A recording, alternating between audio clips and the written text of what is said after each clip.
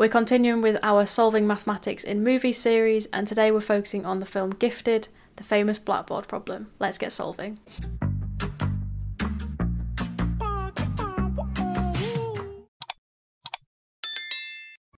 Hi everyone and welcome back to my channel. For those of you that are new here, my name is Ellie and I'm currently an astrodynamics software engineer and I'm a Cambridge mathematics graduate.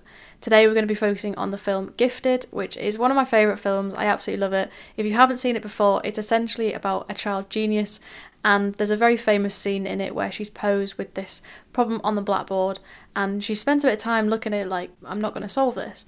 And then she explains to her grandma, I think it is in the film, well, the problem was unsolvable. So she goes back, corrects the problem, and then solves it. And that's exactly what we're going to be doing in today's video. Before I dive into the video, I'd just like to say we have previously solved the famous blackboard problem from Good Will Hunting. If you want to check out that video, it is on my YouTube channel but today we're going to be moving on to the film Gifted. So this is the famous problem in Gifted, and what happens is Mary, the young girl in it, she goes to the goes to the blackboard and she sees this problem and she spends a while looking at it, and she essentially goes away and says it's unsolvable. Now, this is the uncorrected problem. So, this is the problem she's first posed with.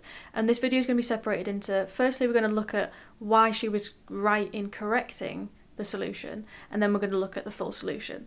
So what Mary does is she goes up to the blackboard and she adds a minus sign into here and then she adds absolute values around the sigma value here.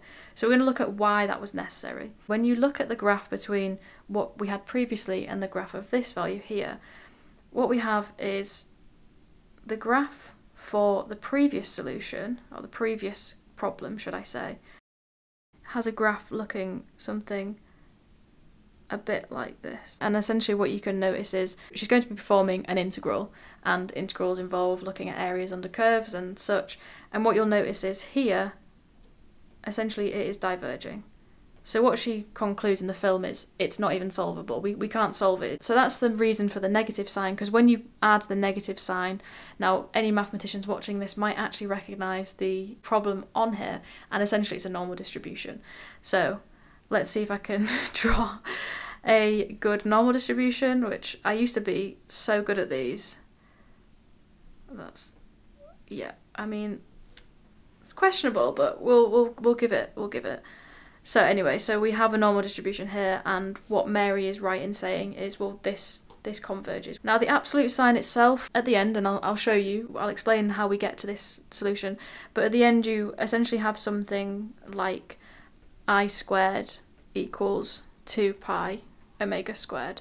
And very rightly, if you take the square root of each side, then you get square root of 2 pi and then the absolute value of sigma. Now, the absolute value isn't normally uh, given in normal distributions, and that is just because we automatically automatically assume that sigma is greater than zero. So it's quite a it's quite a nice little trick. Um, it's something that when I first watched the film and I noticed what she'd done, I was like, okay, the negative sign makes a lot of sense after looking into it, and then the the absolute values obviously make a lot of sense when you think of just square rooting a value, um, but it's something that it's a little bit more intricate because obviously when we look at normal distributions, we just automatically assume that sigma is greater than zero. So I like that touch on the film. It was it was very nice. But yeah, okay. So now what we're going to do is we're going to solve this problem. So the problem itself gives you a bit of a hint, and it says first show this.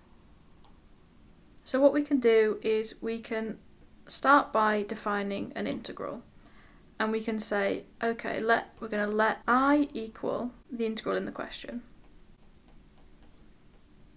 So that is this here. So we're going to let that equal i. Okay. So if we let that equal i, what we can then say is, okay, well, let's square this. And this gives you, if we just copy this, it gives you this squared. And then if we write that out fully, what we get is, obviously we have two different integrals here, so we can't have the same uh, variable in here, so we can't have x for both. So what we can have is minus x, which is what we had normally, and then we can add a y into here as well. So we're going to have it as y. You could have it as anything you want. The reason we stick with y is just because it's mentioned in the question here, so we have a y value there. So we have this now. So what we've done is we've taken the integral that we want to show, we've let that equal i, because it's an integral, and then we've squared it and just added in some terms to make the mathematics correct. So this is what i squared equals. Now, if you remember anything from integrals, this can be written as this for this given problem.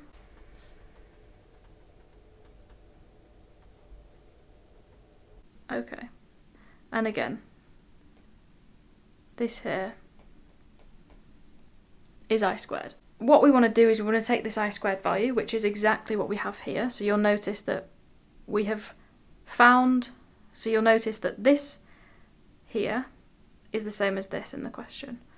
Okay, so now what we want to do is just prove that it equals 2 pi sigma squared. And then from there it's easy, we just take the square root and we get the original integral back. So let's focus on i squared for now then. So what we want to do is make a transformation. And we're going to make a transformation that is x equals r cos theta and y equals r sine theta.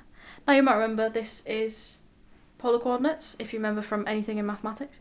It's polar coordinates and You'll notice that x and y both depend on two variables. There's r and there's theta. Now in mathematics when we want to take the derivatives of x and y here we have to be very careful and that's because they both depend on r and theta and that means the problem is dependent on two variables. Now we can start by saying that dx is the same and hopefully you remember this from mathematics but don't worry too much. Um, because we have two variables we have to consider the, dif the differentials with respect to both of them. So we have dr, partial dr by dx by dr plus partial d theta by dx by d theta. And then the same for dy as well. We have dr by dy dr plus d theta by dy d theta. And this is just the form of the differential of dx when you have two variables.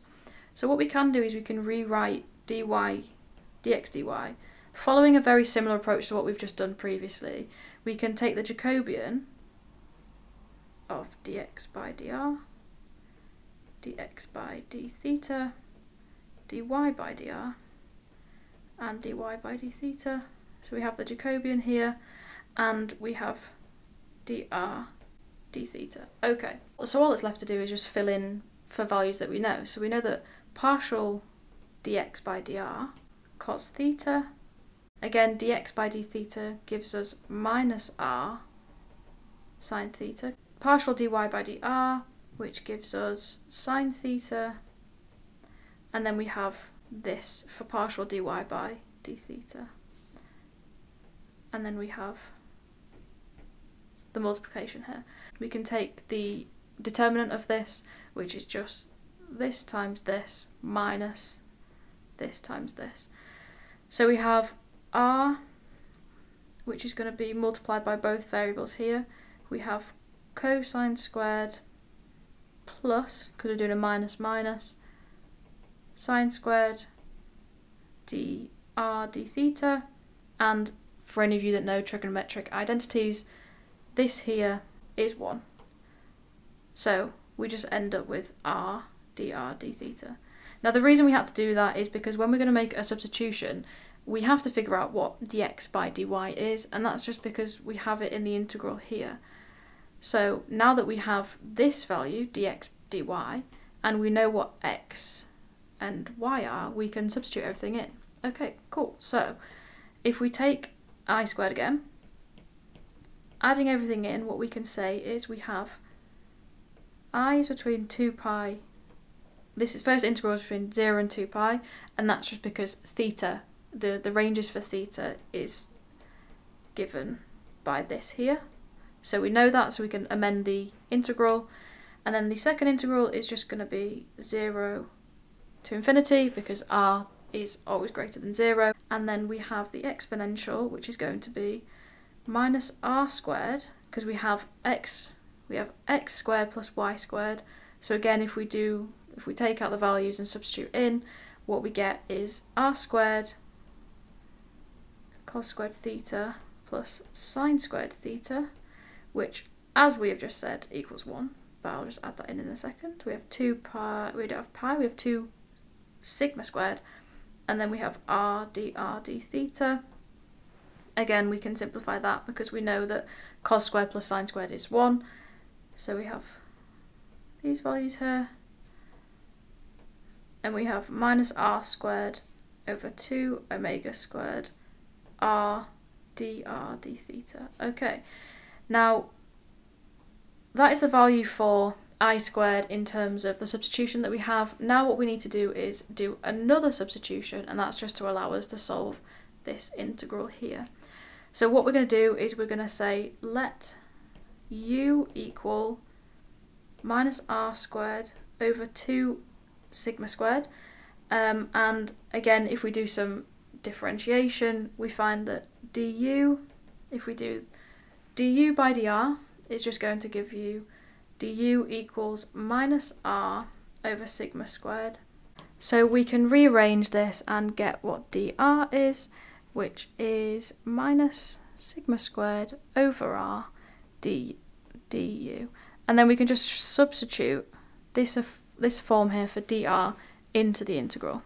So let's substitute those in, and we can say thus i squared is we're going to take the 2 pi out of the first integral because we can do that with the integral between 2 pi and 0 and then we are left with infinity 0 e to the u times r times minus sigma squared over r du which is just substituting everything in.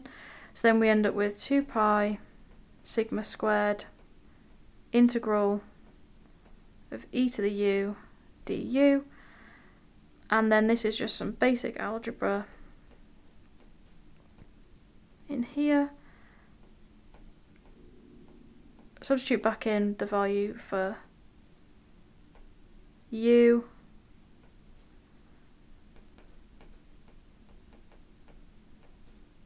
substitute in the values for 0 infinity which give you 0 minus 1 which gives you 2 pi sigma squared.